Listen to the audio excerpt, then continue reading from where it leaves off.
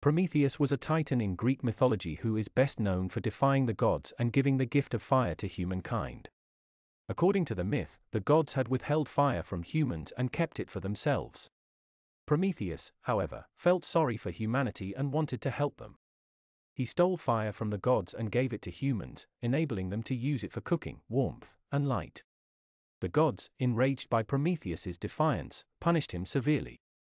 They chained him to a rock and sent an eagle to brutally feed on Prometheus's liver every day.